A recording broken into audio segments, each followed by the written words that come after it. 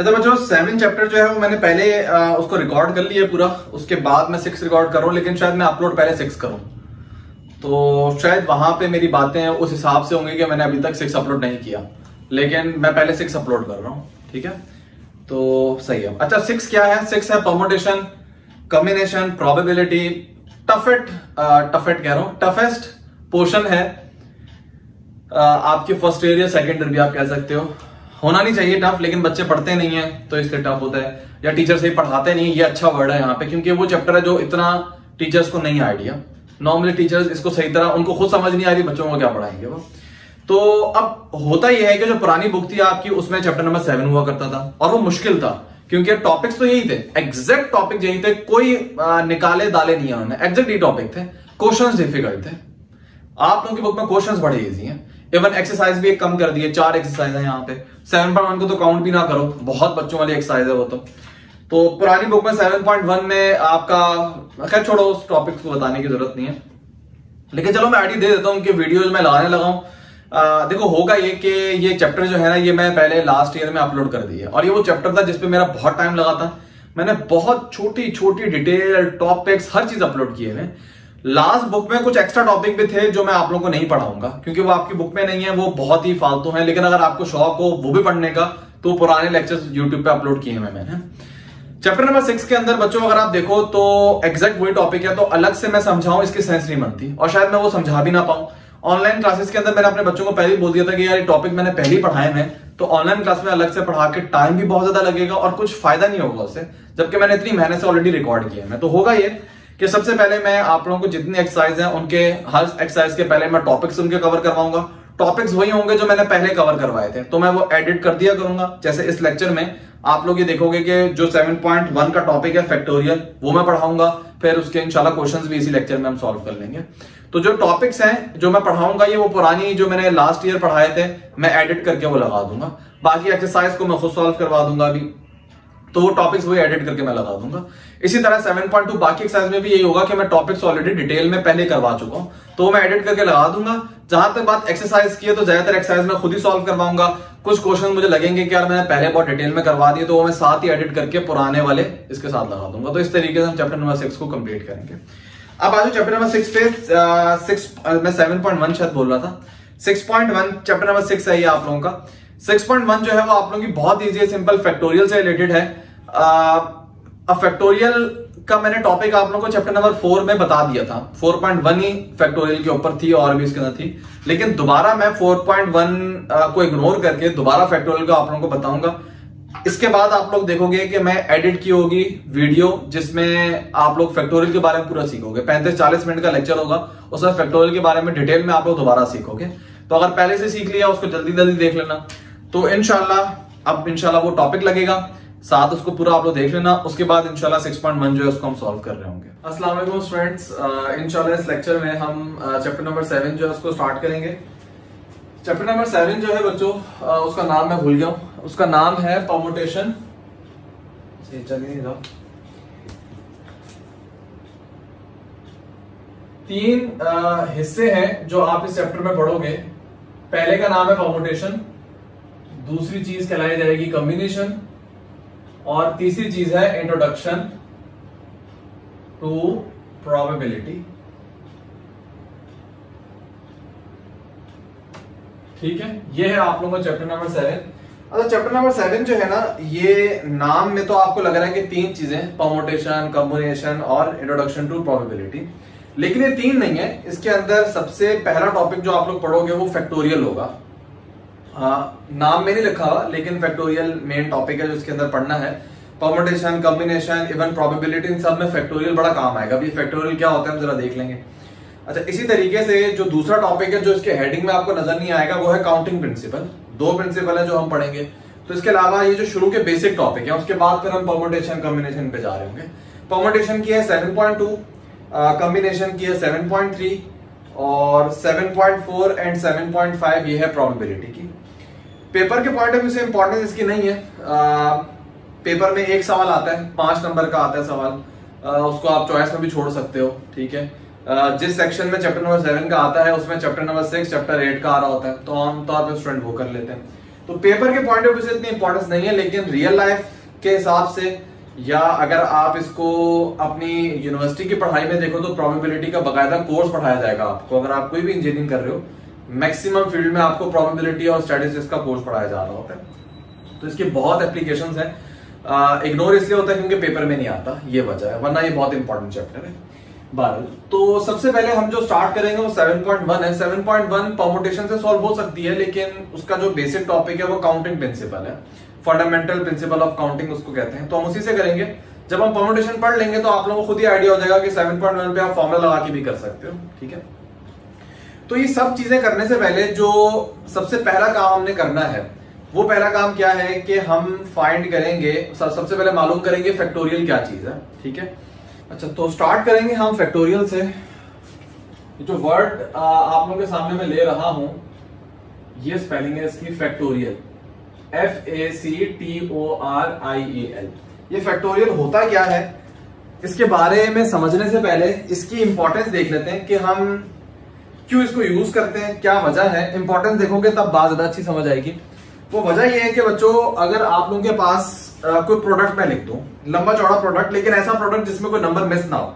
For example मैं आप लोगों के सामने लिखूं seven multiply six multiply five multiply four multiply three multiply two multiply one अब लिखने में दस सेकंड लगे।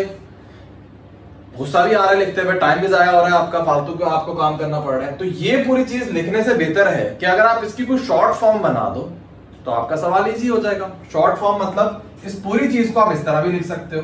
सेवन और आप ये सिंबल डाल दो। ये सिंबल कहलाता है फैक्टोरियल का।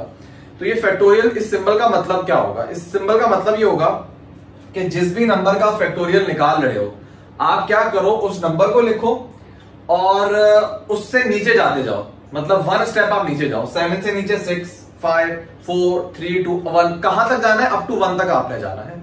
तो इन सब चीज़ों को अगर आप मल्टीप्लाई करो तो ये चीज़ कहलाती है सेवन फैक्टोरियल इसी तरीके से अगर मैं आप लोगों के सामने लिखूं फाइव फैक्टोरियल तो उसका मतलब क्या है? ये मतलब देखो, हर चीज़ आपको मतलब दे रही होती है ना। फॉर एग्ज़ाम्पल अगर आपके सामने दो नंबर लिखे हो फाइव और थ्री इनके दरमियान कुछ ना लिखा हो तो आपको नहीं पता क्या करना है। लेकिन जैसे ही मैं इसके दरमियान प्लस लिख दूँगा, अब आपको मतलब समझ आ गया कि हाँ यार, मुझे इसको ऐड करना है। तो खाली फाइव कोई मतलब नहीं है। मैंने सिंबल डाला, अब इसको मैंने एक मतलब दे दिया, वो के फैक्टोरियल तो क्या मतलब बनेगा? क्या आप लिखोगे फाइव और उससे नीचे जाते जाओगे? फोर फिर थ्री फिर टू और कहाँ तक जाना है? वन तक जाना है। दैट्स इट और इन सब नंबर्स को आप आपस में मल्टीप्लाई कर दो। ये कहलाता है फैक्टोरियल ठीक है? क्योंकि ये मैं ऑनलाइन क्लास ले रहा हूँ, आप लोगों के साथ में यूट्यूब की वीडियो भी बना रहा हूँ तो यूट्यूब पे मैं नोट्स भी अपने फॉलो करवा रहा होता हूँ। तो मैं इसकी छोटी सी डेफिनेशन लिखवा देता हूँ ताकि आप लोगों की अंडरस्टैंडिंग के लिए बस याद रहे क्या चीज़ें होती है। तो फैक्टोरियल ऑफ़ पॉजिटिव इंटीजर ये बात इंपॉर्टेंट है, ये मैं थोड़ी देर बाद बताऊँगा। ये पॉजिटिव इंटीजर ही मैंने क्यों लिखा है? Factorial of positive integer for example N मैं कह रहा हूँ उसको। Is the product of all the positive numbers positive integers बोलना अच्छा वर्ड रहेगा। पॉजिटिव इंटीजर्स लेस देन और इक्वल टू एन ठीक है? करना क्या है? सबसे पहले तो आप लोग जहन में क्लियर कर लो, ये जो फैक्टोरियल की मैंने बात बोली है, ये सिर्फ़ वैलिड है पॉजिटिव इंटीजर्स पे। सबसे पहली बात पॉजिटिव दूसरी बात इंटीजर्स इंटीजर्स क्या होते हैं? अगर आप इंटीजर्स की बात करो तो one two three four minus one minus two minus three चलते जाएँगे, इसी तरह ज़ीरो ये सब इंटीजर्स होते हैं। लेकिन अभी मैं बात कर रहा हूँ पॉजिटिव इंटीजर्स पॉजिटिव इंटीजर्स को आप नेचुरल नंबर्स भी कहते हो। One two three four onward ये सब क्या कहलाते हैं? पॉजिटिव इंटीजर्स या आप इसको नेचुरल नंबर भी कह सकते हो। तो सिर्फ़ जो पॉजिटिव इंटीजर है, इसी का फैक्टोरियल निकाल सकते हो। हाँ इसमें एक एक्सेप्शन है जो कि ज़ीरो है। ज़ीरो का फैक्टोरियल भी डिफाइन है, हालाँकि ज़ीरो पॉजिटिव इंटीजर नहीं है। ज़ीरो ना पॉजिटिव है, ना नेगेटिव है। लेकिन उसको हमने डिफाइन किया हुआ है वो एक अलग चीज़ है, उसको हम बाद में डिस्कस करेंगे। लेकिन फैक्टोरियल जो है, वो एग्जिस्ट कर रहा होता है पॉजिटिव इंटीजर पे। जो जनरल फॉर्म जो डेफिनेशन में करवा रहा हूँ सब पॉजिटिव इंटीजर के ऊपर वैलिड है। ज़ीरो एक अलग केस है, उसको हम बाद में डिस्कस करेंगे। हमने क्यों डिफाइन किया? बड़ा इंपॉर्टेंट चीज़ है कि ज़ीरो फैक्टोरियल क्या होता है? वो एक अलग चीज़ है, वो इंशाल्लाह हम डिस्कस करेंगे। अच्छा तो फैक्टोरियल जितने भी हैं, वो पॉजिटिव नंबर के लिए एग्जिस्ट करते हैं, बाकी किसी नंबर के लिए एग्जिस्ट नहीं करते। तो बाकी नंबर के लिए हम क्या करते हैं? वो थोड़ी देर बाद में आप लोगों से डिस्कस करता हूँ कि क्या ऑल्टरनेट हमने निकाला हुआ फैक्टोरियल के अलावा।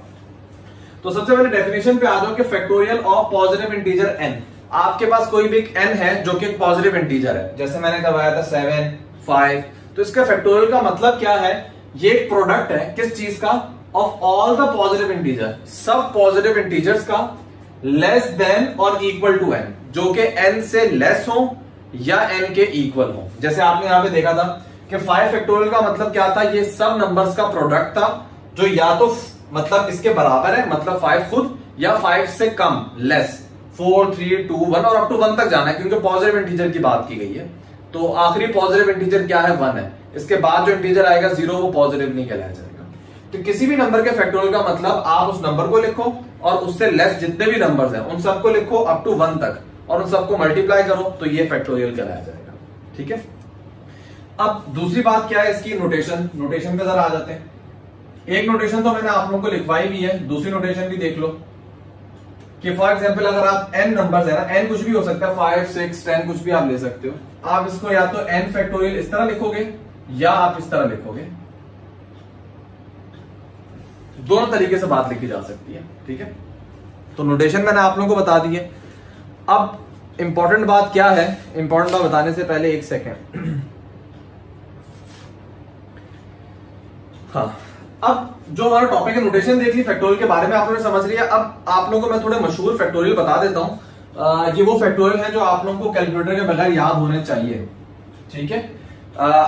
अभी इंटर लेवल पे तो आप लोगों को इशू नहीं होगा, आप लोगों के पास कैलकुलेटर है, आप लोग आसानी से कर सकते हो, लेकिन ये फैक्टोरियल अगर आपको याद होंगे तो आपकी कैलकुलेशन काफ़ी तेज हो जाएँगी। एटलीस्ट इंटर लेवल पे भी आपकी कैलकुलेशन तेज हो जाएँगी। तो टोटल सात फैक्टोरियल है जिनका आपको याद होना चाहिए। तो सबसे पहले मैं आप लोगों के सामने लिखता हूँ सेवन फैक्टोरियल तो सेवन फैक्टोरियल का मतलब क्या है? अभी आप लोगों को बताया था कि seven multiply six five four three two और वन आप इन सब नंबर्स को मल्टीप्लाई करो रिज़ल्ट आपके पास आएगा फाइव थाउज़ेंड फोर्टी ठीक है? इसी तरीके से सिक्स फैक्टोरियल क्या होगा? Six five four three two और वन इन सबको इन सबको आप मल्टीप्लाई करोगे तो आपके पास आएगा सेवन ट्वेंटी इसी तरीके से फाइव फैक्टोरियल क्या हो जाएगा? Five four three two one one इसमें आप कंसीडर ना भी करो कोई इतना फ़र्क पड़ता नहीं है, क्योंकि वन को आप मल्टीप्लाई करो, एक आइडेंटिटी है। मल्टीप्लीकेटिव आप इसको किसी से भी मल्टीप्लाई कर दो कोई फ़र्क नहीं पड़ता। लेकिन जो डेफिनेशन है, उसके मुताबिक हम चल रहे हैं। तो फाइव फैक्टोरियल होता है वन ट्वेंटी ये आपको याद होने चाहिए कि सिक्स फैक्टोरियल क्या होता है? Seven twenty five factorial one twenty ताकि कैलकुलेशन आपकी इजी हो जाए। इसी तरह फोर फैक्टोरियल क्या होगा? फोर थ्री टू वन और ये होता है ट्वेंटी फोर इसी तरीके से three factorial three two one ये होता है सिक्स इसी तरीके से टू फैक्टोरियल ये होगा टू वन मतलब टू के बराबर। और आखिरी हम कौन सा कंसीडर करेंगे? वन फैक्टोरियल जो के बराबर होगा वन के। को और नंबर तो बचा नहीं है ना। डेफिनेशन क्या कहती है? कि पॉजिटिव इंटीजर जो उससे लेस हो या उसके बराबर हो। अब वन जो है वो इसके बराबर ही है। अब इससे कोई लेस नहीं हो सकता ना। मतलब यहाँ पे जो वन है वन से कोई लेस इंटीजर हो ही नहीं सकता। वन से लेस कोई इंटीजर होगा, वो पॉजिटिव नहीं होगा। वो नेगेटिव होगा या ज़ीरो होगा। तो दैट्स वाई वन फैक्टोरियल जो है वो वन ही होगा। उसका कोई और आंसर नहीं हो सकता। तो डेफिनेशन के मुताबिक आपने देख लिया कि ज़ीरो फैक्टोरियल कोई एग्जिस्ट नहीं कर रहा है यहाँ पे। हमने वन से स्टार्ट किया one two three four five six seven eight और अप टू आप जितने पॉजिटिव इंटीजर का निकाल सकते हो आप निकाल लो ठीक है? तो ये मशहूर चीज़ें हैं मशहूर फैक्टोरियल हैं जो मैंने आप लोगों को बता दी है। अब यहाँ पे मैं इसकी जनरल फॉर्म लिखवाता हूँ उसके बाद आ, हम डिस्कस करते हैं कि ज़ीरो फैक्टोरियल का क्या झगड़ा है क्योंकि बड़ा मशहूर क्वेश्चन है कि ज़ीरो फैक्टोरियल वन क्यों होता है। आमतौर पर स्टूडेंट समझते हैं कि ज़ीरो फैक्टोरियल को ज़ीरो होना चाहिए असूली तौर पे। तो खैर हम देख लेंगे कहाँ से चीज़ आई है, क्या सीन है। मैं इसकी जनरल फॉर्म में लिख रहा हूँ, बिल्कुल इसी डेफिनेशन के तहत। क्या आप कंसीडर कर लो, आपके पास एक नंबर एन है। और आपने जनरल फॉर्म एक नंबर एन दिया आपने, ठीक है। इसके फैक्टोरियल को आपने क्या डिफाइन किया था कि अगर एन का आपने फैक्टोरियल निकालना है तो आप एन लिखो। मल्टीप्लाई जो एन से वन कम है इसको आप किस तरह लिखोगे? एन माइनस वन जैसे सेवन था सेवन से एक कम सिक्स था। इसी तरीके से उसके बाद क्या होगा? एन माइनस टू फिर एन माइनस थ्री आप कम करते जाओगे। कहाँ तक आपने जाना है? वन तक आपने जाना है। तो मतलब आप ये मल्टीप्लाई करते जाओगे करते जाओगे, एक दफ़ा आएगा कि आप थ्री आएगा, फिर टू आएगा और अप टू वन आ जाएगा। आप देखो, हर एक फैक्टोरियल के एंड में वन ही आ रहा है ना। मतलब आपने वन पे एंड हो रहा है। अब वो डिपेंड करता है कि एन यहाँ पे क्या है। अगर फाइव है तो ये चार, पाँच चीज़ें होंगी जिनको मल्टीप्लाई करना है। सेवन है तो ये सात चीज़ें होंगी जिनको आपस में मल्टीप्लाई करना है। तो जनरल फॉर्म में आप कैसे लिखते हो कि आपने वो नंबर लिखा, फिर एक कम, फिर कम फिर कम up to three two one बिल्कुल एंड पे आपने जाना तो अगर आप इसमें टेन पुट करोगे इनकी जगह पे तो ten ten minus one nine ten minus two eight ten minus three seven फिर six five four three two one end हो जाएगा ठीक है? अब फैक्टोरियल ना ज़रूरी नहीं कि आप फैक्टोरियल को पूरा एक्सपेंड करोगे। लाइक सेवन फैक्टोरियल को आप इसी तरह लिख सकते हो। इसके अलावा कोई और मेथड नहीं है नहीं। आप इसको आ, इसको आप ये कह सकते हो पार्शियल फैक्टोरियल हाफ़ फैक्टोरियल जो भी आप कहना चाहो उस फॉर्म में ब्रेक कर सकते हो। फॉर एग्ज़ाम्पल अगर मैं आपको एग्ज़ाम्पल देता हूँ नीचे फिर बताता हूँ कि फॉर एग्ज़ाम्पल अगर आपके पास लिखा हुआ फाइव फैक्टोरियल तो एक तो लिखने का तरीका ये है कि आप पूरा वन तक लिखो इसको। लेकिन अगर आप कहीं दरमियान में रोकना चाह रहे हो तो आप इसको रोक सकते हो। फॉर एग्ज़ाम्पल फाइव फैक्टोरियल को आप इस तरह भी लिख सकते हो। फाइव मल्टीप्लाई फोर फैक्टोरियल मैं वन तक नहीं जाना चाह रहा, मैं फोर तक रुकना चाह रहा हूँ। तो अगर आप वन से पहले रुकोगे ना तो आपको फैक्टोरियल लगाना पड़ेगा। मतलब मैं फोर पे रुकना चाह रहा था तो मैंने फोर पे फैक्टोरियल लगा दिया। बात वही है। आप फोर फैक्टोरियल को एक्सपेंड करोगे, दोबारा एक चीज़ आएगी फोर थ्री टू वन और उसको फाइव से मल्टीप्लाई मतलब ये चीज़ एक ही है। अब ये आपकी मर्ज़ी होती है। अभी जब मैं आप लोगों को क्वेश्चंस करवाऊँगा सेवन पॉइंट वन के तो उसमें सिचुएशन के मुताबिक आपको अपने हिसाब से रुकना पड़ता है। ठीक है? वो सिचुएशन में अभी फॉर एग्ज़ाम्पल बता देता हूँ, ताकि ये कॉन्सेप्ट क्लियर हो। फॉर एग्ज़ाम्पल आपके पास सवाल आता है कि आप इसको सॉल्व करो। Five factorial divided by three factorial calculator को साइड पे रखते हैं अभी, ठीक है? अब ये तो वैल्यूज़ थोड़ी काफ़ी इजी है। मैं एक काम करता हूँ, इसको जरा मुश्किल बनाता हूँ। Twenty five factorial divided by thirteen factorial क्योंकि पहले वाली वैल्यू इजी थी फाइव फैक्टोरियल वन ट्वेंटी होता है थ्री फैक्टोरियल सिक्स होता है one twenty divide by six आप कर दोगे, आप लोगों के सर हो गया ठीक है ट्वेंटी आंसर आ रहा है। मैं थोड़े मुश्किल वाले दे देता हूँ। अब आपके पास नहीं, काफ़ी दूर हो जाएँगे, करीब कर लेते हैं। फॉर एग्ज़ाम्पल ट्वेंटी थ्री ठीक है? अब कैलकुलेटर के बगैर निकालना आपके लिए मुश्किल है। भाई ट्वेंटी फाइव फैक्टोरियल को कैलकुलेट करो, फिर उसको ट्वेंटी थ्री फैक्टोरियल करो, फिर इनको आपस में डिवाइड करो, लंबी कैलकुलेशन है। लेकिन आप ये वाला मेथड लगा के आप आसानी से इसको सॉल्व कर सकते हो। कैसे? सबसे पहले आपने देखना है न्यूमिनेटर और डिनोमिनेटर को। इसमें से छोटा फैक्टोरियल कौन सा है? अगर आप यहाँ पर सॉरी बड़ा फैक्टोरियल कौन सा है। अगर आप यहाँ पे देखो न्यूमिनेटर में बड़ा फैक्टोरियल लिखा हुआ है। अच्छा मैटर नहीं करता न्यूमिनेटर में बड़ा फैक्टोरियल होगा। डिनोमिनेटर में भी हो सकता है। आपने बस ये देखना है कि बड़ा फैक्टोरियल कहाँ पे है। न्यूमिनेटर में आप क्या करो, बड़े फैक्टोरियल को एक्सपेंड करो। मैं 25 को किस तरह लिख सकता हूँ? 20 मतलब 25 फैक्टोरियल को? 25 मल्टीप्लाई 24 मल्टीप्लाई 23 मल्टीप्लाई 22 और ये चीज़ चलती जाएगी। आपको कहाँ तक जाना है? वन तक जाना है। मुझे कोई फ़ायदा नहीं होगा इसका। लंबी सी मल्टीप्लीकेशन है। मैं देखूँगा नीचे। नीचे लिखा हुआ ट्वेंटी थ्री फैक्टोरियल मैं क्या करूँगा मैं ट्वेंटी थ्री पे रुक जाऊँगा। मतलब मैं लिखूँगा twenty five twenty four twenty three और मैं यहाँ पे रुक जाऊँगा। अगर मैं वन से पहले रुकूँगा तो मुझे फैक्टोरियल लगाना पड़ेगा। ये चीज़। अब 24 25 फैक्टोरियल को आप इस तरह भी लिख सकते हो। मैंने वही चीज़ बताई थी आपकी मर्ज़ी आप कहीं भी रुक सकते हो। अब सवाल पे डिपेंड करता है आपको आसानी किस चीज़ में। अभी यहाँ पे आपको आसानी थी 23 पे रुकना। आप 23 पे रुक गए। ठीक है। और डिनोमिनेटर ऐसे रहने दो। 23 फैक्टोरियल से 23 फैक्टोरियल आप कैंसिल कर दो। अब पीछे बहुत इजी मल्टीप्लीकेशन है 25 को आपने मल्टीप्लाई करना है 24 से। तो आई गेस ये शायद सिक्स हंड्रेड आ रहा है, मेरे जहन में जो है तो ट्वेंटी ट्वेंटी फाइव को ट्वेंटी फोर से आप मल्टीप्लाई करोगे तो आपके पास अराउंड सिक्स हंड्रेड कुछ आ जाएगा, आप आसानी से कैलकुलेट कर लोगे। तो देखने में सवाल इतना मुश्किल लग रहा था, या आपने सिंपल पार्शियल फैक्टोरियल करके आपने इसको सॉल्व कर लिया। ठीक है? तो जनरल फॉर्म यहाँ तक हमने देखी थी। अब जनरल फॉर्म को भी हम पार्शियल रोकते हैं। फॉर एग्ज़ाम्पल आप लिखो एन फैक्टोरियल बराबर होगा N multiply N minus one इसके बाद नहीं मल्टीप्लाई करना। फॉर एग्ज़ाम्पल आप एन माइनस वन पे रुकना चाह रहे हो तो आप रुक जाओ और यहाँ पे फैक्टोरियल डाल दो। ठीक है? तो ये जनरल फॉर्म लिखी जाती है फैक्टोरियल की। नॉर्मली आप इस तरीके से फैक्टोरियल को जनरल फॉर्म में कन्वर्ट कर देते हो। क्योंकि पूरा लिखने से बेहतर, इतनी लंबी फॉर्म लिखने से बेहतर। आप यहाँ तक रोक देते हो, ठीक है? अब इसमें आप कोई भी नंबर पुट कर दो फॉर एग्ज़ाम्पल टेन पुट कर दो टेन फैक्टोरियल क्या होगा? टेन मल्टीप्लाई नाइन फैक्टोरियल ठीक है? आप इस तरह कुछ भी पुट कर सकते हो। इस चीज़ को लिखने का एक और तरीका है जो आपको ज़ीरो फैक्टोरियल को समझने में हेल्प करेगा। इसको लिखने का एक और तरीका क्या है कि आप इसको इस तरह लिख सकते हो कि ये जो एन है ना, इसको डिवाइड करवा दो। तो एन माइनस वन फैक्टोरियल बराबर हो जाएगा N factorial divided by N simple आपने इस एन को जाके डिवाइड करवा दिया एन माइनस वन फैक्टोरियल अपनी जगह पे। तो इसी चीज़ को लिखने का एक और तरीका ये भी है, ठीक है? ये मैंने पूरा फैक्टोरियल से रिलेटेड आप लोगों को बता दिया। अब वो वक्त है कि बहुत ही मशहूर जमाना क्वेश्चन है कि why zero factorial is equal to one इस सवाल का जरा हम जवाब दे देते हैं कि y zero factorial is equal to one असूली तौर पे जो आप लोगों के जहन में आ रहा है, जितनी मैथ आपने अभी तक पढ़ी है, आप लोगों के जहन में चीज़ आएगी कि यार ज़ीरो फैक्टोरियल का आंसर ज़ीरो होना चाहिए। वन कहीं से भी जस्टिफाई नहीं कर रहा इस चीज़ को समझने से पहले, या मैं पहले समझा देता हूँ, उसके बाद जो इस पे आमतौर पर स्टूडेंट एतराज़ करते हैं ना, उसके जवाब में मैं एक जवाब दूँगा ताकि आप लोगों का थोड़ा ना क्लियर हो जाएगा ये, ठीक है? सबसे पहले इसको देख लेते हैं कि ज़ीरो फैक्टोरियल का आंसर होता क्या, कैसे हमने मालूम किया? देखो, मालूम करने का तरीका ये है कि ये फॉर्मूला मैंने आप लोगों के सामने लिखा है। इसको छोड़ दो। ये अभी मैं बताऊँगा, ये दूसरा तरीका होगा। पैटर्न के हिसाब से भी आपको बताऊँगा। लेकिन पहले मैं फैक्टोरियल की जनरल फॉर्म आपको बता रहा हूँ। ये जो फैक्टोरियल का फॉर्मूला है ना, ये वैलिड किसके ऊपर है? मतलब जब एन बिलोंग कर रहा हो नेचुरल नंबर से, या पॉजिटिव इंटीजर आप कह दो। नेचुरल नंबर लिखो या पॉजिटिव इंटीजर को बात एक ही मतलब इस फॉर्मूले में आप कोई भी पॉजिटिव इंटीजर ही पुट कर सकते हो, जो कि फैक्टोरियल की डेफिनेशन है ठीक है? अब सवाल है कि ज़ीरो तो पॉजिटिव नहीं होता, इसको हमने अलग से क्यों डिफाइन किया? सबसे पहले इसकी इंपॉर्टेंस देख लो।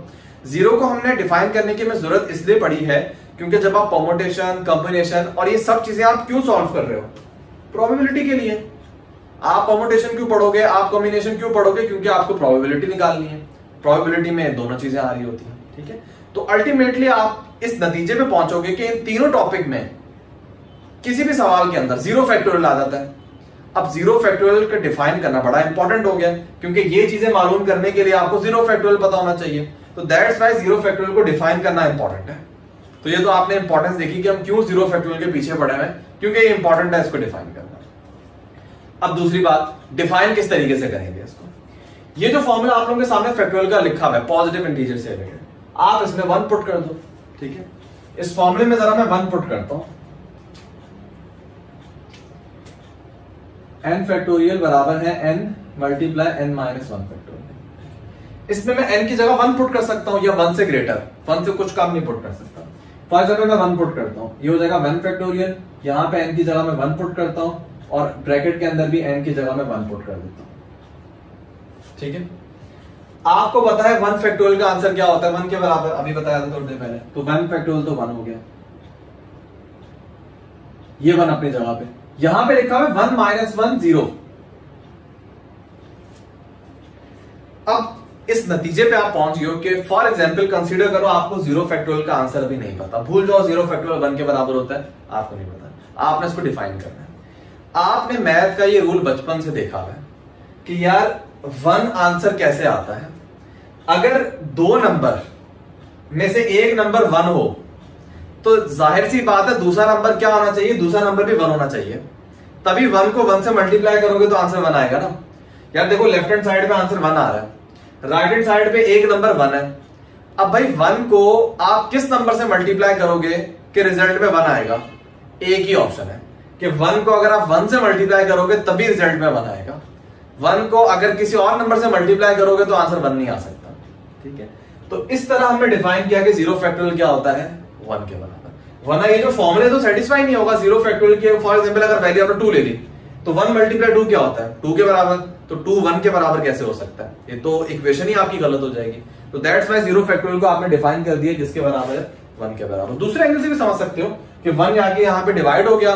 One divide by one zero factorial one के बराबर हो गया। ठीक है? तो यहाँ से ये बेसिक डेफिनेशन है स्टूडेंट कहते हैं कि सर, ये ज़ीरो फैक्टोरियल वन कहाँ से आया? वो यहाँ से आया। इस तरीके से आपने ज़ीरो फैक्टोरियल को डिफाइन किया कि उसकी वैल्यू होती है वन के बराबर ठीक है? अब ये एक तरीका है। चीज़ एक ही है। अभी जो मैं दूसरा समझाने लगा हूँ, वो भी यही है। लेकिन उसको दूसरे तरीके से मैं समझा रहा हूँ, ताकि मजीद बात आप लोगों को क्लियर हो जाए। और वो है एक पैटर्न बेस पैटर्न बेस का मतलब ये जो मैंने फॉर्मुला आप लोगों के सामने लिखवाया है। इस फॉर्मुले की जरा मैं दो तीन वैल्यूज़ लिखता हूँ, ताकि कॉन्सेप्ट आपका क्लियर हो। इस फॉर्मुले में फॉर एग्ज़ाम्पल वैसे ये रीजन काफ़ी है बताने के लिए। ये मैं मजीद कॉन्सेप्ट क्लियर करने के लिए आप लोगों को बाकी बता रहा हूँ फॉर्मुला देखो वही है, लेकिन दूसरे एंगल से बात कर रहा हूँ अगर आप इसके अंदर फोर पुट करते हो फॉर एग्ज़ाम्पल एन की जगह फोर पुट करो, ये हो जाएगा फोर माइनस वन थ्री यहाँ पे एन की जगह फोर पुट करो फोर फैक्टोरियल यहाँ पे एन की जगह फोर पुट करो। तो आप ये ऑब्ज़र्व कर रहे हो कि थ्री फैक्टोरियल बराबर है फोर फैक्टोरियल अपॉन फोर यही है ना? इसी तरीके से, अगर मैं एन की जगह यहाँ पे थ्री पुट करता हूँ तो three minus one two factorial यहाँ पे एन की जगह थ्री पुट करो। यहाँ पे एन की जगह थ्री पुट करो। सही है? तो टू फैक्टोरियल किसके बराबर हो गया? थ्री फैक्टोरियल अपॉन थ्री और ये बिल्कुल वैलिड है। भाई फोर फैक्टोरियल क्या होता है? Twenty four twenty four divide by four six तो आपको पता है थ्री फैक्टोरियल सिक्स होता है। Three factorial six six divide by three two आपको पता है टू फैक्टोरियल जो है, वो टू के बराबर होता है। मतलब इन फैक्टोरियल को लिखने का एक और तरीका है कि आपके पास अगर थ्री फैक्टोरियल लिखा हुआ है तो ये बराबर होगा four factorial divided by four मतलब एक नंबर ग्रेटर उसका फैक्टोरियल डिवाइडेड बाय वाला नंबर फॉर एग्ज़ाम्पल अगर मैं आपको बोलूँ टेन फैक्टोरियल तो टेन फैक्टोरियल बराबर होगा eleven factorial divided by eleven इसी तरह ट्वेंटी फैक्टोरियल बराबर होगा twenty one factorial divided by twenty one बिल्कुल वो वाला पैटर्न चलता हुआ है। इसी पैटर्न पे आप क्या करो? जगह मेरे पास इतनी नहीं रही। इसी पैटर्न पे आप वन फैक्टोरियल का आंसर निकालो। वन फैक्टोरियल क्या होगा? Two factorial divided by two ये पैटर्न ना पूरा। टू फैक्टोरियल क्या होता है? Two two upon two one तो वन फैक्टोरियल किसके बराबर है? वन के बराबर है। तो इसी पैटर्न पे आपने ज़ीरो फैक्टोरियल को लिखना है। ज़ीरो फैक्टोरियल क्या होगा? One factorial divided by one ये बिल्कुल वही सवाल है। बिल्कुल इसी तरह हुआ था कि ज़ीरो फैक्टोरियल बराबर था वन फैक्टोरियल अपॉन वन चीज़ को दूसरे तरीके से समझाया गया। सॉल्व करो अब इसको। आंसर क्या आ रहा है? वन के बराबर आ रहा है। क्योंकि वन फैक्टोरियल होता है वन के बराबर वन अपॉन वन क्या होता है? वन ज़ीरो फैक्टोरियल वन होता है। अब ये पैटर्न सिर्फ़ यहाँ तक नहीं रुकेगा। फॉर एग्ज़ाम्पल अगर आप इस पैटर्न को नीचे तक लेके जाना चाह रहे हो, अब ये बात बड़ी इंपॉर्टेंट है, इसको गौर से आप लोग सुनना। कि ज़ीरो फैक्टोरियल तो आपने देख लिया वन के बराबर होता है। एक ही फॉर्मूला है, दो तरीके से मैंने आप लोगों को समझा दिया। अगर मैं बात नीचे तक लेके जाऊँ अगर मैं यहाँ पे माइनस वन पुट करूँ, यही पैटर्न जो है ये मैं माइनस वन के ऊपर अप्लाई करूँ।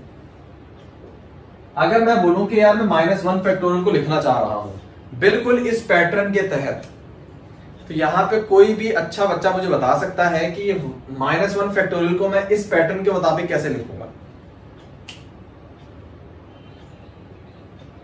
एक्सीलेंट माइनस वन फैक्टोरियल को मैं क्या लिखूँगा? Zero factorial upon zero. इसी तरह लिखना चाहिए। सॉल्व करते हैं। ज़ीरो फैक्टोरियल क्या होता है? वन के बराबर। ये क्या आ रहा है? वन अपॉन ज़ीरो और याद रखना वन अपॉन ज़ीरो एक अनडिफाइंड फॉर्म है। वन अपॉन ज़ीरो को आप डिफाइन नहीं कर सकते। इसकी कोई वैल्यू नहीं है, आप इसको डिफाइन ही नहीं कर सकते। तो यहाँ से आपने एक बात ऑब्ज़र्व और ये सब नेगेटिव नंबर्स के लिए। यहाँ से आपने एक बात ऑब्ज़र्व की कि नेगेटिव नंबर के फैक्टोरियल डिफाइन नहीं कर सकते आप। खासतौर पे नेगेटिव इंटीजर्स अभी मैं बताऊँगा मैं नेगेटिव इंटीजर्स की बात क्यों कर रहा हूँ। कि नेगेटिव इंटीजर आप डिफाइन नहीं कर सकते, क्योंकि सबसे पहला नेगेटिव इंटीजर है माइनस वन वही डिफाइन नहीं है। तो इसके अलावा कैसे डिफाइन होंगे? ठीक है? तो यहाँ से आपने रिज़ल्ट ये निकाला कि फैक्टोरियल जो है, सबसे पहली बात पॉजिटिव नंबर के ऊपर वैलिड है पॉजिटिव इंटीजर्स के ऊपर। ये शर्त है इसकी। सिर्फ़ एक एक्सेप्शन है जो हमने अपनी आसानी के लिए, हमें ज़रूरत थी उसकी। वो क्या था कि ज़ीरो फैक्टोरियल को हमने डिफाइन करना था। तो ज़ीरो फैक्टोरियल को हमने बिल्कुल इसी फॉर्मुले के तहत डिफाइन कर लिया वन के बराबर। ठीक है? दूसरी बात। आप लोगों का लेवल है अभी छोटा। जो नेक्स्ट लेवल है ना इवन ग्रेजुएशन लेवल पे अंडर ग्रेजुएशन लेवल पे ये चीज़ पढ़ाई जाती है। एक फ़ंक्शन होता है जिसका नाम होता है gamma function gamma function basically factorial का नेक्स्ट वर्जन है। क्यों फैक्टोरियल का मसला क्या है? फैक्टोरियल का मसला ये है कि आप नेगेटिव नंबर्स का फैक्टोरियल नहीं निकाल सकते। आप पॉजिटिव नंबर्स का नहीं निकाल सकते। जस्ट पॉजिटिव इंटीजर का निकाल सकते हो। फॉर एग्ज़ाम्पल अगर मैं आपको बोलूँ 1.5 का फैक्टोरियल निकालो, आप नहीं निकाल सकते। ठीक है? ये फैक्टोरियल का मसला है। तो इस मसले को हमने ओवरकम कैसे किया? गैमा फ़ंक्शन से। अब गैमा फ़ंक्शन क्या होता है? डेफिनेटली आप लोगों का टॉपिक नहीं है, लेकिन बस अंडरस्टैंडिंग के लिए पता होना चाहिए। किसी को शौक हो तो आप लोग गूगल कर सकते हो, आपको एक्सप्लेनेशन मिल जाएगी उसमें। गैमा फ़ंक्शन जो है, वो उसकी वजह से अब क्या होता है? गैमा फ़ंक्शन की वजह से हम किसी भी पॉजिटिव नंबर का फैक्टोरियल निकाल सकते हैं। वो पॉजिटिव नंबर फ्रैक्शन हो डेसिमल कुछ भी हो। 0.5 का 1.5 का 1.32 का, किसी भी नंबर का पॉजिटिव नंबर का फैक्टोरियल निकाल सकते हो। इसी तरह गैमा फ़ंक्शन से आप किसी भी नेगेटिव नंबर का भी फैक्टोरियल निकाल सकते हो। Minus one minus two four बस एक चीज़ है। चाहे गैमा फ़ंक्शन हो, चाहे फैक्टोरियल फ़ंक्शन हो, आप नेगेटिव इंटीजर्स का नहीं निकाल सकते। ये जहन में रखना। क्योंकि आप चाहे गैमा फ़ंक्शन से निकालो या फैक्टोरियल फ़ंक्शन से, मसला आपने देख लिया। कि जो नेगेटिव इंटीजर्स है, वो मसला करते हैं। नेगेटिव इंटीजर मतलब minus one minus two minus three इनका फैक्टोरियल नहीं आ सकता। चाहे गैमा फ़ंक्शन से, चाहे इस फ़ंक्शन से, आप इनका नहीं निकाल सकते। नेगेटिव नंबर्स का निकाल सकते हो अदर देन नेगेटिव इंटीजर जैसे minus one point five minus two point five इनका निकाल सकते हो। ठीक है? एक और एतराज़ ज़ीरो फैक्टोरियल पे ये होता है कि अगर इसको आप लॉजिकल समझते हो ना तो लॉजिकल बात समझ नहीं आती। क्योंकि आपने फैक्टोरियल अभी देखा था कि फैक्टोरियल में आप क्या करते थे? कोई नंबर पिक करते थे, उसे नीचे जाते थे, उनको मल्टीप्लाई कर देते थे। अब ज़ीरो तो ऑलरेडी वन से नीचे है। तो हमें ये बात हजम नहीं हो रही। फॉर्मुले से हमने देख लिया मैथमेटिकल हमें पता चल गया, हम वहाँ से तो मुतमिन हो गए। लेकिन हमें ये मेंटली बात समझ नहीं आती कि यार ये है क्या चीज़? ज़ीरो फैक्टोरियल वन कैसे हो सकता है? ज़ीरो होता है समझ आता है ज़ीरो फैक्टोरियल वन कैसे तो सबसे पहली बात तो मैं आप लोगों को बताता हूँ कि आप लोगों ने चीज़ पढ़ी थी कि टू की पावर ज़ीरो जो है ये वन होता है।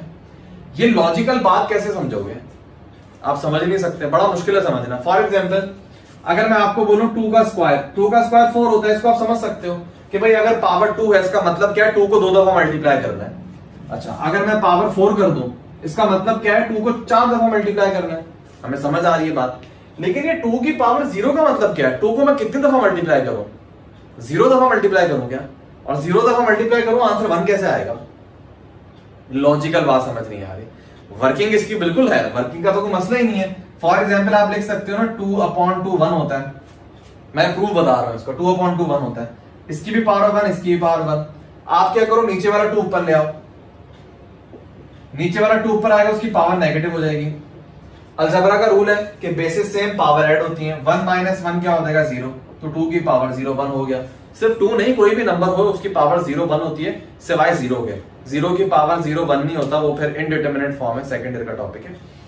तो लॉजिकल बात हमें समझ नहीं आती थी इसमें। इसी तरह ज़ीरो फैक्टोरियल जो है ना ये लॉजिकल बच्चों को समझ नहीं आ रहा होता मैथमेटिकल तो समझ आ जाता है, लेकिन लॉजिकल किस तरह समझेंगे इसको? देखो, इसके लिए मैं एक बहुत अच्छी चीज़ बताता हूँ, ये आपको अभी परमोटेशन कॉम्बिनेशन में भी बात समझ आएगी। वो ये है कि अगर मैं आप लोगों के सामने लिखूं थ्री फैक्टोरियल ये शो किस चीज़ को कर रहा होता है? भाई हमें ये पता है थ्री फैक्टोरियल सिक्स है। लेकिन ये नंबर क्या है? किस चीज़ को शो कर रहा होता है? ये जो फैक्टोरियल है ना ये आपको आ, बताता है नंबर ऑफ़ अरेंजमेंट क्या बात हुई? फॉर एग्ज़ाम्पल अगर मैं आपके सामने तीन नंबर्स लिखूं one five six for example ये तीन नंबर्स हैं।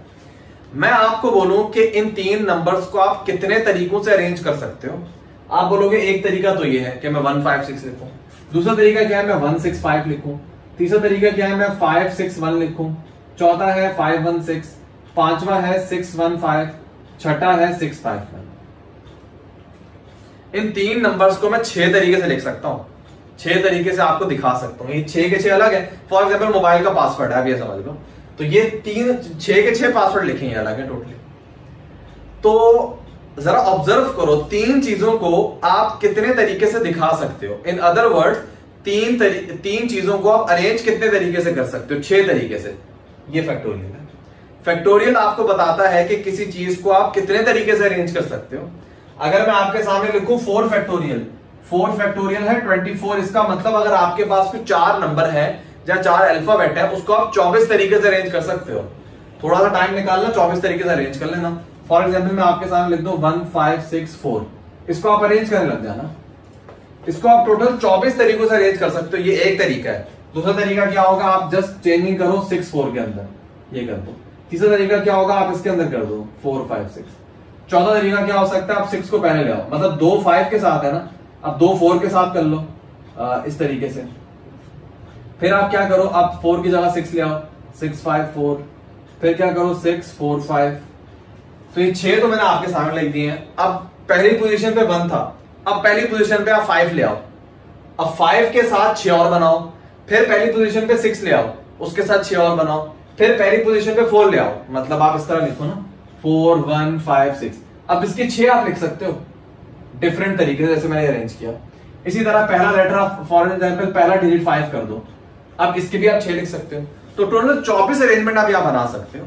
तो चौबीस का वर्ड है कहाँ से आया? चौबीस ये फैक्टोरियल से आया। कि चार तरीकों को आपने, चार नंबर्स को अरेंज करना है तो आप क्या करो, उनका फैक्टोरियल निकालो तो 24 आ जाएगा। इसी तरीके से अगर आपने दो चीज़ों को अरेंज करना है तो टू फैक्टोरियल क्या होता है? टू इसका मतलब दो चीज़ों को कितने तरीके से अरेंज कर सकते हो? दो तरीकों से अरेंज कर सकते हो। फॉर एग्ज़ाम्पल आपके पास नंबर लिखा हुआ है वन टू या तो आप इस तरह लिखोगे, या आप इस तरह लिखोगे। दो तरीके। इसी तरह अगर मैं आपको बोलूँ वन फैक्टोरियल वन के बराबर होता है। मतलब एक चीज़ को आप एक ही तरीके से दिखा सकते हो। फॉर एग्ज़ाम्पल अगर वन लिखा हुआ है तो वन को दिखाने का एक ही तरीके है। एक ही अरेंजमेंट है, कोई और अरेंजमेंट नहीं है इसका इसी चीज़ को आपने अप्लाई करना है। ये मैं लॉजिकल बात बता रहा हूँ ज़ीरो फैक्टोरियल के ऊपर। ज़ीरो फैक्टोरियल वन कैसे होगा लॉजिकल बात यह है कि ज़ीरो का मतलब होता है नथिंग आपके पास कुछ भी नहीं है। अब अगर आपके पास कुछ भी नहीं है, उसको आपने अगर शो करना है किसी दूसरे को। जैसे अगर आपके पास तीन थे तो आप छह तरीके से शो कर सके थे। अगर चार है तो आप चौबीस तरीके से शो कर रहे थे। इसी तरह अगर आपके पास नथिंग है, कुछ भी नहीं है तो आप कितने तरीके से शो कर सकते हो? एक तरीके से शो कर सकते हो। फॉर एग्ज़ाम्पल अगर मैं आपको बोलूँ, मेरे पास हाथ में कोई चीज़ पकड़ी है मेरे पास, अब मेरे पास नथिंग है तो जो मैं शो करवा रहा हूँ आपको, वो नथिंग शो करवा रहा हूँ। मतलब एक ही तरीका है कि मैं आपको नथिंग कुछ भी शो नहीं करवा रहा। इस बात को जरा समझो कि अगर मेरे पास कुछ भी नहीं है और मैं आपको बोलूँ, मेरे पास जो कुछ भी नहीं है, उसको मैंने आपको शो करवाना है तो मैं एक तरीके से शो करवा रहा हूँ आपको, वो ये कि कुछ भी नहीं है इसके अंदर। नथिंग तो किसी भी नथिंग को शो करवाने का एक ही तरीका है कि उसके अंदर नथिंग हो, कुछ भी ना हो। दैट्स वाई ज़ीरो फैक्टोरियल जो है वन के बराबर ये लॉजिकल बात समझाई जाती है। मैथमेटिकल जो है वो मैंने आप लोग को ऑलरेडी समझा दी कि क्या होता है ठीक है? और अब एक आखिरी चीज़ है फोर फैक्टोरियल से रिलेटेड वो है इसकी प्रॉपर्टीज़ प्रॉपर्टीज़ का मतलब ये है कि आमतौर पे जो आप लोग बचपन से पढ़ते हुए आ रहे हो ना चीज़ें वो फैक्टोरियल पे अप्लाई नहीं होती। फॉर एग्ज़ाम्पल प्रॉपर्टी अच्छा वर्ड नहीं है। इसको हम लिखते हैं नोटा बिना। अब ये क्या चीज़ होती है? ये आई गेस लैटिन वर्ड है। इसका मतलब होता है इंपॉर्टेंट चीज़ नोट करो। नोटा बिना। इंपॉर्टेंट चीज़ क्या है भाई? कि ए प्लस बी फैक्टोरियल का हरगे से मतलब नहीं होता कि ये बराबर है A factorial plus B factorial नहीं, ये आपस में बराबर नहीं हो सकते। ये ए प्लस बी फैक्टोरियल कभी भी बराबर नहीं होगा A factorial plus B factorial क्योंकि हमें बचपन से मल्टीप्लाई करने की आदत है। डिस्ट्रीब्यूटिव प्रॉपर्टी होती है ना। हमें वो आदत है कि फॉर एग्ज़ाम्पल अगर मैं यहाँ पे बाहर टू लिख देता तो आप ए को टू से मल्टीप्लाई करते प्लस बी जो है उसको टू से मल्टीप्लाई करते। ये फैक्टोरियल के अंदर ऐसा कुछ नहीं है। ठीक है?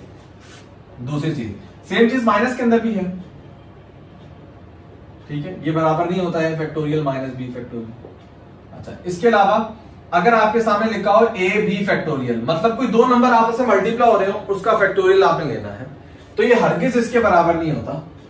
A factorial multiply B factorial इसके बराबर नहीं होगा। फॉर एग्ज़ाम्पल अगर मैं आपके सामने लिखूं टू और फोर आपस में मल्टीप्लाई हो रहे तो इसको एक ही तरीका सॉल्व करने का कि टू फोर जा eight eight factorial that's it इसका ये तरीका बिल्कुल भी नहीं है कि two factorial multiply four factorial नहीं। इसका आंसर क्या होगा? फोर फैक्टोरियल होता है ट्वेंटी फोर ट्वेंटी फोर को टू से करो फोर्टी एट इसका आंसर फोर्टी एट है, जबकि यहाँ पे एट फैक्टोरियल का आंसर तो पाँच हज़ार चालीस को एट से मल्टीप्लाई कर दो, बहुत बड़ा आंसर आएगा। तो तीसरी बात आपने यहाँ पर और चौथी बात, कि अगर आपके पास लिखा हो टू ए फैक्टोरियल ये ब्रैकेट ज़ाहिर सी बात है, एक मेन रोल अदा करेंगे यहाँ पे। अगर आपके पास इस तरीके से लिखा हो टू ए फैक्टोरियल तो हर किसी इसके बराबर नहीं होता।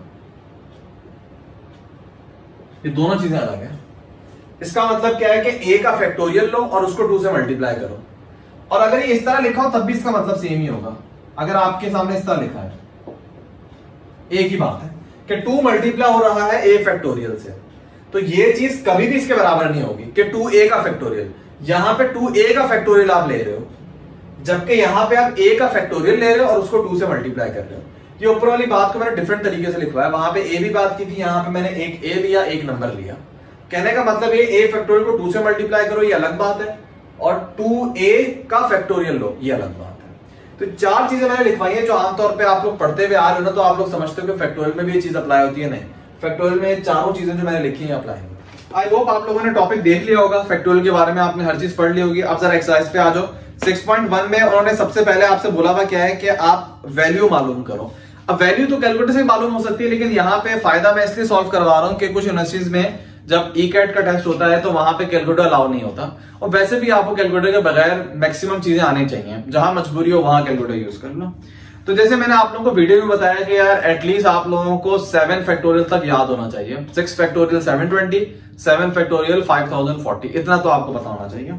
तो पार्ट वन पार्ट टू में फोर फैक्टोरियल सिक्स फैक्टोरियल ये वैल्यू तो आपको याद होंगी। एक्सरसाइज सिक्स पॉइंट वन का क्वेश्चन नंबर वन जो है, उसमें अगर आप पार्ट नंबर थ्री देखो तो उसमें आपको बोला हुआ है कि भाई सिंप्लीफाई करो eight factorial upon five factorial को। मैंने बताया था फैक्टोरियल को आप अपनी मर्ज़ी से कहीं भी रोक सकते हो। तो मैं इसको इस तरह लिख सकता हूँ। Eight multiply seven multiply six multiply five मैं यहाँ रोकना चाह रहा हूँ तो फैक्टोरियल नीचे भी फैक्टोरियल तो ये आपस में कैंसिल हो जाएँगे। Eight into seven into six इसको आप मल्टीप्लाई कर लेना। जो आपके पास आंसर होगा वो रिक्वायर्ड होगा। ये कैलकुलेटर के बगैर भी आप मल्टीप्लाई कर सकते हो पेजेस पे। देख लेना। पार्ट नंबर फोर में भी ये करना है ten factorial divide by seven again वही ten into nine into eight into seven factorial cancel कर देना। शुरू की तीन टर्म होंगी मल्टीप्लाई कर देना। पार्ट नंबर फाइव में क्या लिखा हुआ है? Five factorial seven factorial three factorial को मल्टीप्लाई करना है। तो भाई इसका कोई और हल नहीं है। फाइव फैक्टोरियल वन ट्वेंटी होता है seven factorial five thousand forty होता है थ्री फैक्टोरियल सिक्स होता है, इनको आपस में मल्टीप्लाई करना है। कैलकुलेटर के बगैर कर सकते हो टाइम जाया होगा, लेकिन अगर मजबूरी हुई तो कहीं आप कर सकते हो। लेकिन यहाँ पे आप अगर पेपर में तो खैर नहीं आएगा एमसीक्यूज में अगर आ गया तो कैलकुलेटर से कर लेना। पार्ट नंबर सिक्स में क्या लिखा हुआ है कि टेन फैक्टोरियल को आपने डिवाइड करना है एट फैक्टोरियल से। तो फॉर एग्ज़ाम्पल ये आपका है part number six ten factorial divided by eight factorial plus five factorial ये चीज़ लिखी हुई है। अब इसको सॉल्व कैसे करोगे? Simple ten factorial upon eight को तो आप सॉल्व कर सकते हो। Ten into nine into eight factorial वो आपस में कैंसिल हो जाएँगे। फाइव फैक्टोरियल आपको पता है वन ट्वेंटी होता है। तो टेन इंटू नाइन ये हो जाएगा नाइनटी नाइनटी को ऐड करोगे वन ट्वेंटी के अंदर तो ये हो जाएगा दो सौ दस. उसके बाद पार्ट नंबर सेवन पे अगर आप आओ तो लिखा हुआ है सिक्सटीन फैक्टोरियल ठीक है? और नीचे जो डिवीज़न में है सिक्सटीन फैक्टोरियल को आप लिख सकते हो सिक्सटीन फिफ्टीन फोर्टीन थर्टीन और ट्वेल्व फैक्टोरियल नीचे लिखा हुआ है. तो मैंने इसको ट्वेल्व तक एक्सपेंड किया है, नीचे लिखा हुआ है eight factorial into twelve factorial तो इसको तो आपस में आप कैंसिल कर सकते हो. रही बात एट फैक्टोरियल की तो एट फैक्टोरियल अब देखो एट फैक्टोरियल क्या होगा? फाइव थाउज़ेंड फोर्टी को अगर आप एट से मल्टीप्लाई करोगे। और ये जो ऊपर लिखा हुआ है, इनको आप नॉर्मली इतना सिंप्लीफाई कर नहीं सकते। हाँ इतना आप कर सकते हो कि अगर आप एट फैक्टोरियल को इस तरह पूरा एक्सपेंड कर दो। इस तरीके से एट फैक्टोरियल होता है eight seven six five four three two one को इग्नोर कर दो। अब आप इनको आपस में कैंसिल कर सकते हो। जैसे आप इसको इस तरह कर दो, ये वन टाइम जाएगा, ये टू टाइम जाएगा। इसी तरह और क्या कैंसिल हो रहा है? फाइव का फिफ्टीन से कैंसिल कर सकते हो। ये वन टाइम जाएगा। और आप क्या कैंसिल कर सकते हो? टू को कैंसिल कर सकते हो। ये सेवन टाइम जाएगा। आप सेवन को आपस में कैंसिल कर सकते हो।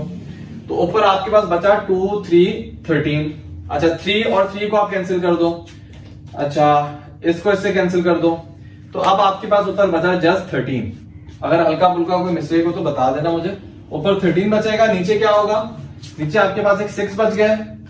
यहाँ पे आई गेस टू बच गया तो six upon six multiply two है ये। तो इस टाइप का आपके पास कोई आंसर आ जाएगा।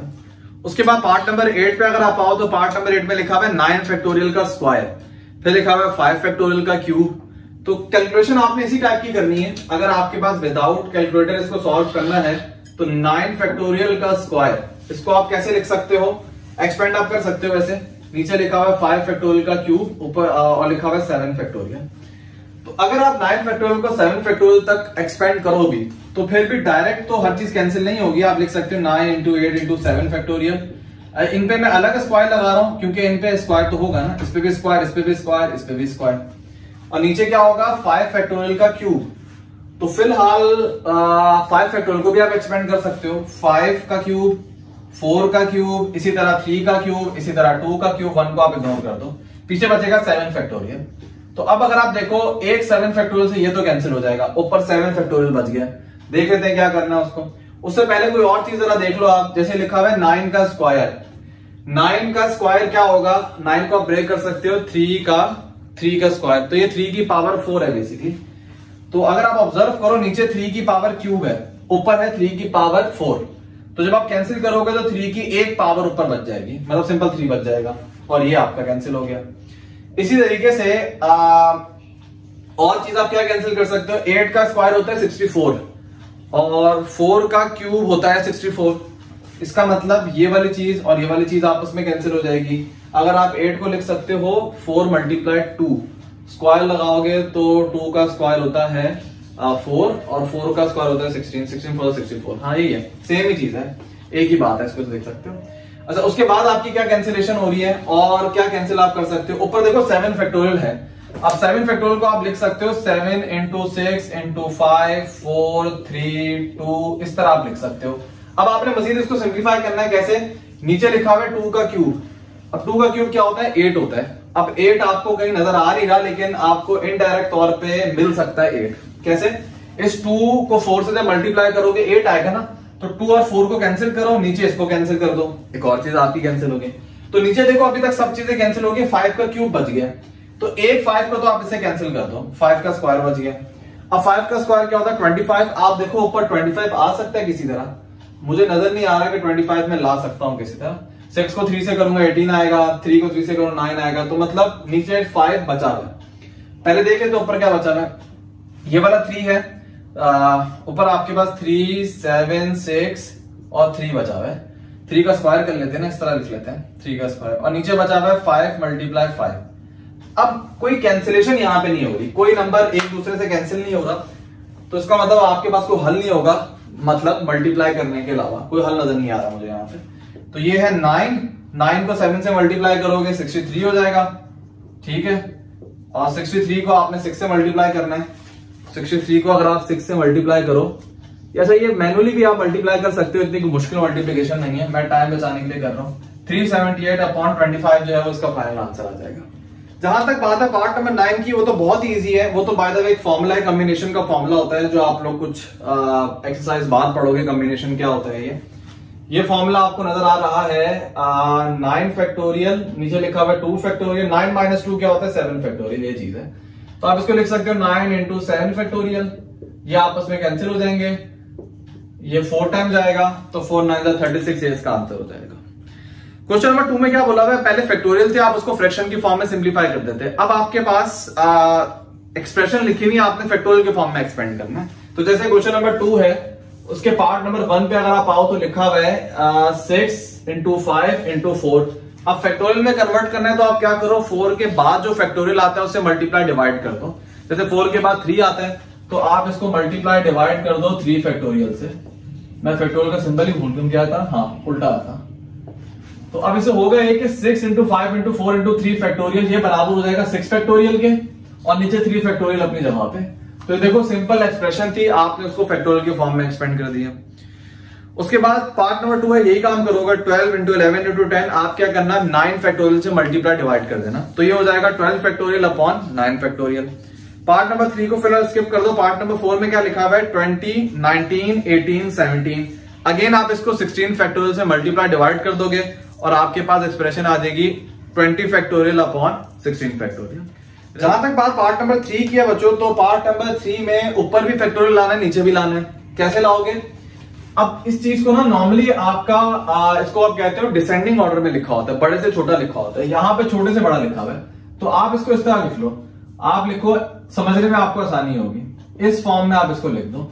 तो अब आपको पता अगर इसको फैक्टोरियल आपने बनाना है तो एन से छोटा क्या होगा? एन माइनस वन तो आप क्या करोगे? एन माइनस वन फैक्टोरियल से मल्टीप्लाई डिवाइड कर दोगे। तो ये तो ऊपर आप फैक्टोरियल में कन्वर्ट कर दिया।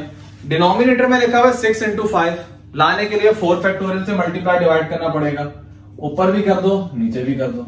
तो होगा क्या? ये ऊपर भी एक्सप्रेशन है, ये बन जाएगी एन माइनस वन का फैक्टोरियल और फोर फैक्टोरियल जो है वो तो अपनी जगह पे आ जाएगा।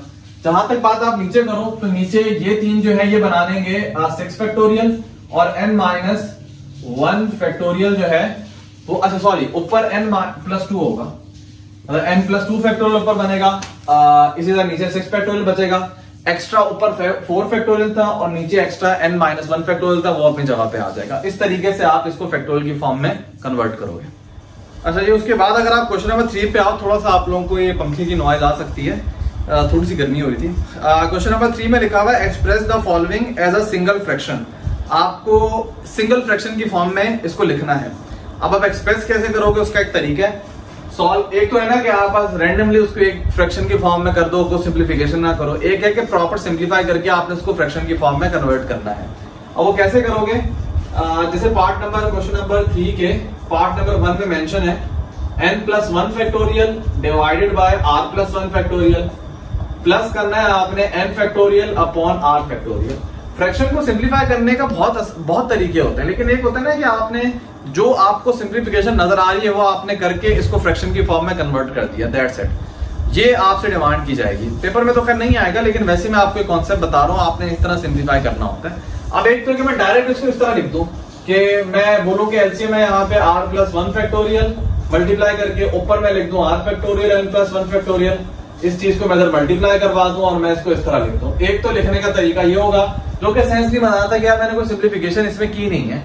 मुझे यहाँ पे कुछ ना कुछ सिंप्लीफाई करना है तो मेरे पास फाइनल आंसर आएगा। अब मैं जो तरीका बता रहा हूँ, उसके मुताबिक करते हैं। पहले आप वो देख लो कैसे करना है। वो ये है कि सिंपल आप देखो फैक्टोरियल बड़ा जो होता है ना, उसको आप, मैंने पहले भी बताया था, बड़े फैक्टोरियल को आप छोटे में कन्वर्ट कर रहे होते हो।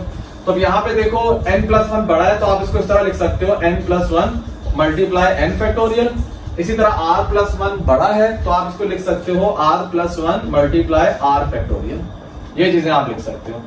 ये करने का फ़ायदा ये हुआ कि अब आप कॉमन ले सकते हो इसमें से। N factorial upon R factorial common आ गया इधर से बचेगा। N plus one upon R plus one और यहाँ से बच जाएगा सिंपल वन बच जाएगा यहाँ पे ठीक है?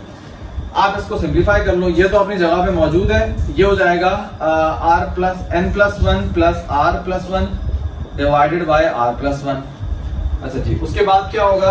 आ, इसको आप लिख सकते हो N plus R plus two, इसी तरीके से डिनोमिनेटर में क्या है? R into R plus one अगर आप देखो आर प्लस वन को जब आप आर फैक्टोरियल बड़े नंबर से मल्टीप्लाई करोगे, जैसे मैं अगर फोर फैक्टोरियल को फाइव से करूँगा तो ये फाइव फैक्टोरियल हो जाएगा। मैं टेन फैक्टोरियल को अगर इलेवन से मल्टीप्लाई करूँगा तो ये इलेवन फैक्टोरियल हो जाएगा। तो वही कॉन्सेप्ट है। अगर आर फैक्टोरियल को मैं आर प्लस वन से मल्टीप्लाई करूँगा तो ये क्या हो जाएगा? आर प्लस वन फैक्टोरियल हो जाएगा। ये वो फॉर्म है, जो करेक्ट फॉर्म है, जो सिंप्लीफाइड फॉर्म है, इस तरीके से आपने इसको लिखना है। जबकि शुरू में अगर आप करते तो ये आपका रूट सा आंसर आ रहा होता। कन्वर्ट आप अभी भी कर सकते हो जैसे इसको आर प्लस वन को आप लिख दो R plus one multiply R factorial इसको लिख दो N plus one into N factorial अब आप कॉमन क्या ले सकते हो इसमें से? आप यहाँ पे कॉमन ले सकते हो न्यूमिनेटर में से आर फैक्टोरियल एन फैक्टोरियल पीछे वही बचेगा एन प्लस वन यहाँ से बचेगा आर प्लस वन ठीक है? आ, नीचे बचेगा आर फैक्टोरियल और आर प्लस वन फैक्टोरियल इसको आपस में कैंसिल कर दोगे। फिर इसको फर्दर सॉल्व करोगे तो आपके पास आंसर आ जाएगा। तो एक दो स्टेप में आपके पास आंसर आ जाएगा। तो कहने का मतलब यह है कि रूड होकर सिंप्लीफिकेशन नहीं करनी कि उनको बोलो कि बस यार मैंने एलसीएम ब्रेक कर लिया मतलब मैंने पहला स्टेप कर लिया, उसके बाद में कुछ नहीं कर रहा। यहाँ तक नहीं आप छोड़ सकते। या तो ये वाली टेक्निक लगाओगे, इससे भी आपके पास तीन चार स्टेप में आंसर आ जाएगा। या अगर आप डायरेक्ट एलसीएम लेके इसको सॉल्व कर रहे हो, तब भी आपको सिंप्लीफाई करना पड़ेगा वहाँ पे। जो सिंप्लीफिकेशन हो रही होगी, उतनी करोगे, उसके बाद फाइनल आपका आंसर आ जाएगा। तो ये सिंप्लीफिकेशन करना ज़रूरी है। इसी तरीके से अगर आप आ जाओ पार्ट नंबर टू के ऊपर तो पार्ट नंबर टू में उन्होंने क्या बोला हुआ है? एन प्लस वन फैक्टोरियल को उन्होंने डिवाइड किया हुआ है आर फैक्टोरियल से। इसी तरह एन फैक्टोरियल को उन्होंने डिवाइड किया हुआ है आर प्लस वन फैक्टोरियल से। वही काम करोगे, यहाँ पे बड़े को आपने एक्सपेंड करना होता है। यहाँ पे आप लिखोगे N plus one multiply N factorial इसको ऐसे रहने दो। इसी तरह इसको आप लिखोगे R plus one into R factorial अब आप देखो कॉमन क्या आ रहा है। एक तो आपको नज़र आ रहा है न्यूमिनेटर में n फैक्टोरियल कॉमन आ रहा है। अगर आप डिनोमिनेटर में देखो तो r फैक्टोरियल कॉमन आ रहा है। यहाँ पे बचेगा n प्लस वन और यहाँ पे जब आपने n और ये ले लिया, पीछे बचेगा r plus one further solve करते हैं बच्चों इसको। ये क्या हो जाएगा? आर प्लस वन को इसे मल्टीप्लाई करो और ऐड कर दोगे आप वन के अंदर। तो आर प्लस वन आर को सबसे एन से मल्टीप्लाई करो एन आर आर को वन से करो आर इसी तरह वन को एन से करो वन को वन से करो और एंड पे आप इसके अंदर ऐड कर दो, ये सिंप्लीफिकेशन हो जाएगी। मजीद अगर आप देखना चाहो तो ऊपर तो हो जाएगा एन फैक्टोरियल अंदर क्या होगा? इनको मजीद सिंप्लीफाई नहीं आप कर सकते। बेशक आप आर इसमें से कॉमन ले लो या कुछ कॉमन लेके कोई खास मज़ा आएगा नहीं इसके अंदर। फॉर एग्ज़ाम्पल ये तीन टर्म है ना N R R plus N अब इसमें से कुछ कॉमन आ नहीं सकता। लेकिन एक काम कर सकते हैं हम वैसे। अगर मैं आर को कॉमन ले लू इन दो टर्म से तो ये एन प्लस वन हो जाएगा और बाकी दो टर्म जो है, ये भी एन प्लस वन है। और आखिरी वाला वन अपनी जगह पे है। लेकिन बात तो वही है ना, वही चीज़ को आपने दूसरी तरह लिखा है। एन प्लस वन आप कॉमन ले लो तो ये हो जाएगा आर प्लस वन बात वही है, ये चीज़ आपने मल्टीप्लाई की वही चीज़ आपके पास आ रही है। तो खास सिंप्लीफिकेशन इसके बाद हो नहीं सकती। आप ऐसी रहने दो इसको। आप लिख दो N R plus N plus R plus two divided by R plus one पे उसे मल्टीप्लाई करोगे तो ये आर प्लस वन फैक्टोरियल हो जाएगा। ये आपका फाइनल आंसर हो जाएगा। अगेन इसको डायरेक्ट एलसीएम लेके भी आप सॉल्व कर सकते थे। फिर भी आपको सिंप्लीफिकेशन करना पड़ता। तो इन चार्ज में आपने डायरेक्ट सिंप्लीफिकेशन करके सॉल्व कर लिया। तो इस तरीके से आप सॉल्व करोगे बच्चों 6.1 जो है वो हमारी कंप्लीट होगी। है